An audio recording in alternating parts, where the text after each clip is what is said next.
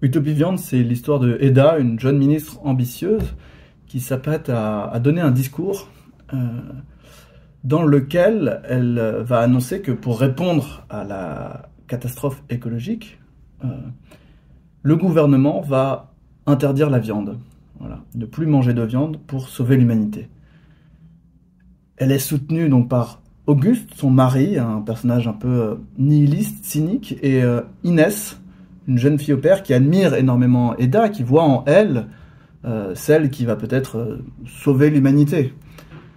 De l'autre côté, on suit Georges, un, boucher qui travaille dans des abattoirs, donc plutôt un, ouvrier qui travaille dans les abattoirs et qui voit dans cette décision donc toute sa vie changer, qui voit euh, son métier disparaître, sa façon de vivre disparaître et qui ne l'accepte pas.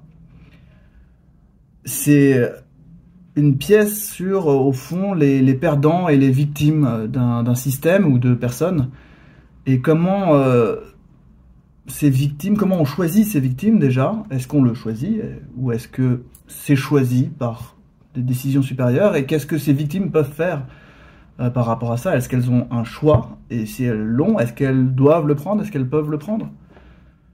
C'est une pièce aussi sur la sur la parole et le pouvoir qu'elle peut avoir sur le monde. Ce que j'appelle la parole performative. Si un politique, donc si euh, Macron dit nous sommes en guerre avec la Russie, eh bien notre vie change en fait, notre, toute notre vie change.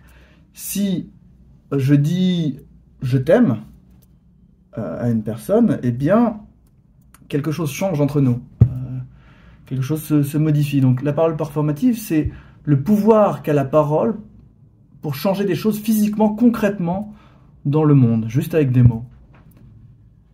Et c'est une pièce qui, euh, qui est à la fois un peu dure, euh, brutale par moments, qui, euh, qui parle de sujets compliqués, difficiles, mais en même temps qui est très drôle, très vive, très amusante, parfois légère, et qui alterne toujours entre différentes textures, entre différentes